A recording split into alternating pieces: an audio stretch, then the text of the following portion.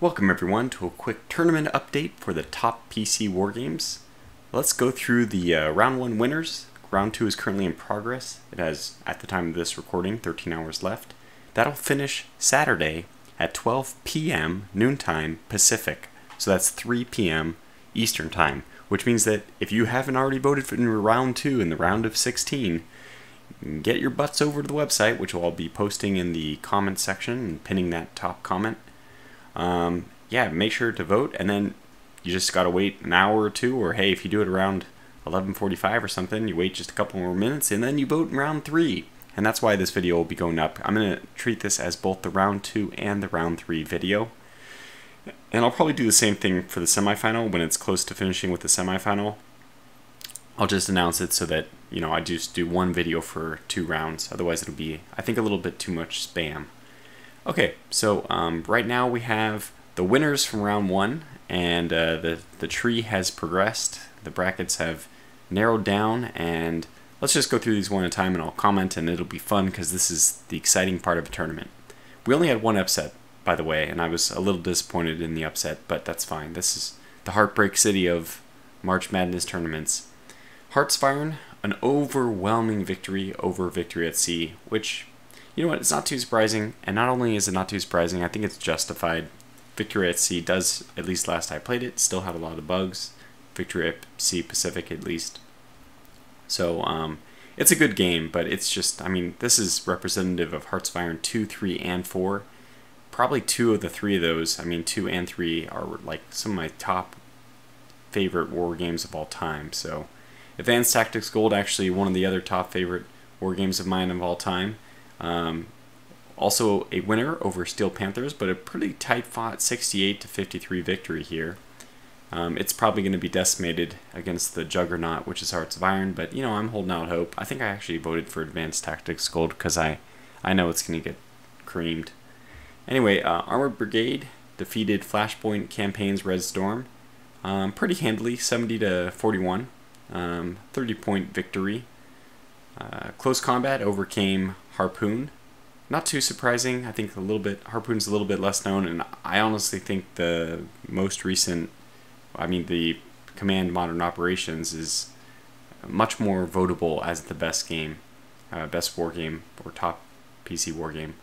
So Close Combat, great series. You know, not a whole lot of games exactly like Close Combat, and it, it moved on. War in the Pacific, Gary Grigsby's title. Um, defeated soundly decisive campaigns, 94 to 35. One of the bigger upsets. Um, it's going to put it up against a tough matchup in round two. At least this was a tough one for me to vote for. I had to think about it for a while. It was the only one that I didn't immediately know which one I wanted to vote for.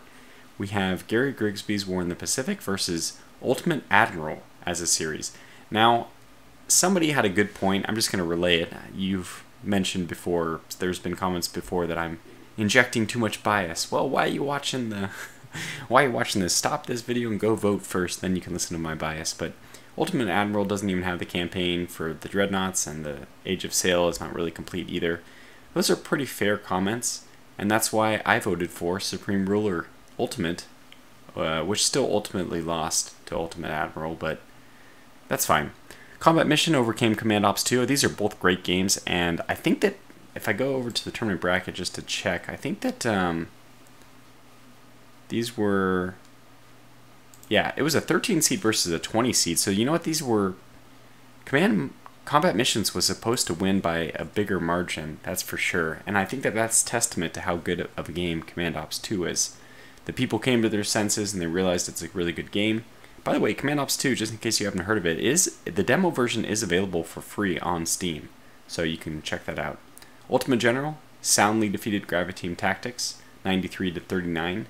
Rule the Waves overcame Commander the Great War. Not too surprising there. Commander the Great War, in my opinion, is just nowhere near the first best World War One game of all time with the strategic. Um, I guess it would have been for a little while. I was always wondering what is the best game um, to play for World War One uh, Supreme Ruler has the Great War or Great War variation. There's the Great War, um, which is making modern history or making history, I should say. Anyways, Rule the Waves, Great War game. You know, you just don't find a game like Rule the Waves. very often. It's one of those extremely detailed, um, historically minded war games. You get to play with dreadnoughts. It's pretty cool. So Field of Glory defeated Pike and Shot. I disagree with that. I was a. It's not too big of a deal because their Field of Glory now has to go up against Rule the Waves, and considering this is based in my channel, I don't. I think Rule the Waves is probably going to roll on through. Um, Operational Art of War soundly defeated Vietnam 65 and Afghanistan 11, 70 to 43, and that's going to put it up with. I think this is going to be a really tough battle. Operational Art of War was going to be going up against Strategic Command as a series, which overcame uh, Civil War II. Let's go down here and look at that. So, yeah, we have an 11 and 6 seed. These are pretty close, pretty tight matchups. Um, I think that's going to be a tough one. I, I, I would vote for, I mean, I would give the edge to Strategic Command. Um, Operational Art of War has some kind of flukes to it, but I think Strategic Command, you can pick several from several games there, and um, at least the World War One version is, is pretty is fairly polished. So Command Modern Operations uh, defeated Sid Meier's, Gettysburg, and Antietam, much to the historical gamers' chagrin. so that'll put it up against Panzer General, which um, beat out Axis and Allies. Um, actually, Panzer General got more votes than Command Modern Operations, so that's interesting. It that's going to be a tough. That's supposed to be a tough battle as well, a seven and ten.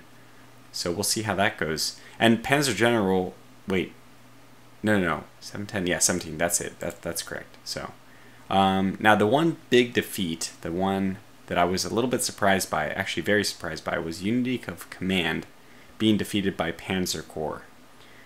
I think that Unity of I was hoping at least that Unity of Command could give War in the East a run for its money just to make things exciting because otherwise I think War in the East is going to roll on through probably until it faces the Rule the Waves. That's my guess. So if I had to dictate my bracket, I have Rule the Waves going through and then uh, beating Field of Glory, then beating um, probably beating Strategic Command, and then I imagine losing to Gary Grigsby's War in the East just just playing the this is just the numbers, the seeds as it is.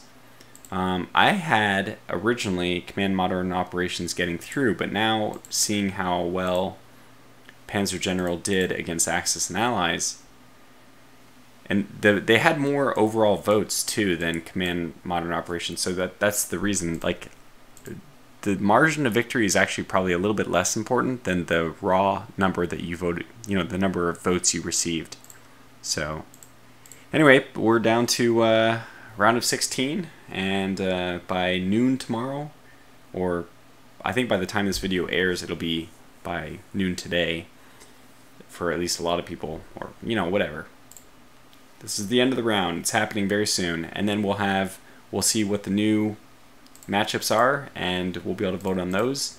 And we're getting closer. Round of eight starts tomorrow. Semifinals starts Monday, and finals will be determined before next Saturday. So until then, until the the next video on this, thanks for watching. Hope you're enjoying this tournament. I still am. And until the next one, take care.